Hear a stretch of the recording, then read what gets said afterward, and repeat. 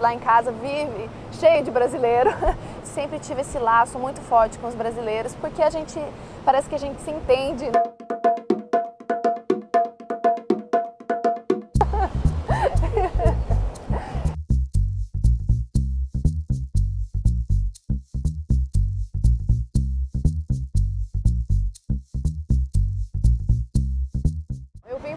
Canadá 12 anos atrás. Meu pai trabalhava na Embraer no Brasil e foi contratado pela Bombardier aqui no Canadá. Viemos todos, fomos nós, é, viemos nós cinco, meus pais, meu irmão, minha irmã e eu. A primeira coisa que eu pensei, eu quero ver neve.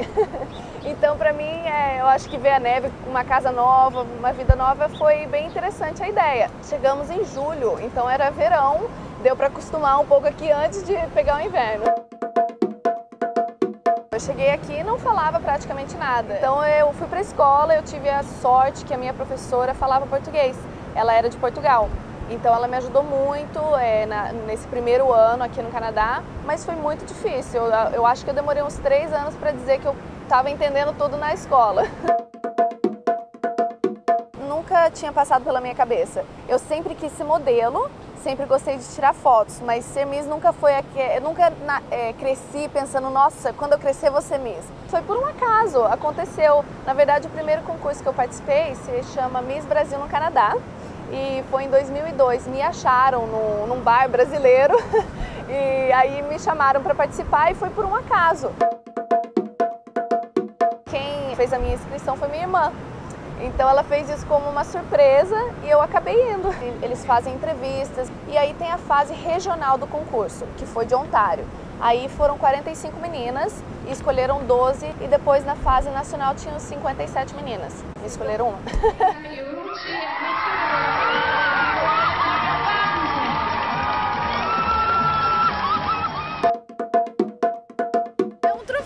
Certa forma, né? Que nem aquelas pessoas que ganham o Oscar, que colocam em alguma estante, essa faixa é assim pra mim. Eu acho que o fato de eu ter ganhado o Miss Canadá vai ser uma história que eu vou poder contar para meus filhos e é um orgulho que vai passar por geração em geração.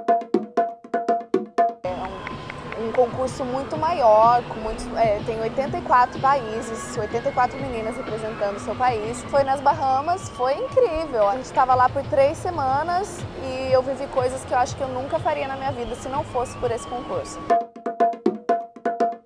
Bateu!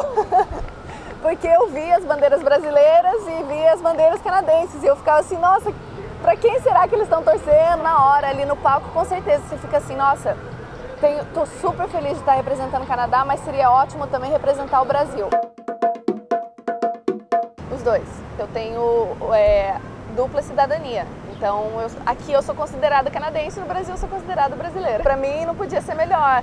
Aqui é a minha casa e o Brasil também vai estar sempre no meu coração. Ela ri muito disso, mas eu fui Miss Rádio Caxambu. E Caxambu, ela fala, ah, Caxambu é uma cidade pequenininha. Uma cidadezinha de, de Minas Gerais. E eu digo, não é, já tem três semáforos, cresceu. Olha, foi uma experiência ótima. Não fui para o Miss Universo por causa disso, mas eu adorei. Quando vi Mariana lá no, no palco representando o Canadá, para mim foi o maior orgulho. Por ela ter vindo para um país, chegou aqui sem falar inglês, se adaptou e agora está representando o país. Depois que acabar o meu ano como Miss, eu vou voltar para a faculdade e me formar como professora. Eu me vejo daqui um ano, daqui dois anos, dando aula para pré-escola. O Canadá, para mim, é o país das oportunidades. É um país que realmente aceita todas as culturas, todas as raças. Então, para mim, é o país que eu escolhi para viver. No coração, com certeza. Sempre quero voltar para visitar. Não sei, um dia talvez voltar a morar, mas por enquanto acho que a minha casa é por aqui. Primeira coisa, minha família. É, meus avós, meus tios, meus primos estão todos lá. E em segundo lugar é aquele calor humano do brasileiro que é difícil de encontrar em qualquer outro lugar. Sinto muita falta disso, de você chegar em qualquer lugar, seu vizinho ser seu melhor amigo. Isso eu acho que só o Brasil mesmo tem. Lá em casa é só comida brasileira. eu adoro, é lógico que nosso feijão com arroz, carne moída, mas eu amo é frango com quiabo. E lá em casa sou eu que tenho que fazer, porque minha mãe não faz não. Eu namoro um brasileiro há sete anos e não, não foi uma coisa que eu procurei. Eu, apesar de que eu sempre disse que eu ia casar com um brasileiro. Ele é de Belo Horizonte e é assim que eu mantenho meus laços brasileiros aqui no Canadá também. Um beijo para todos, Canadá e Brasil. Obrigadão. Tchau, tchau.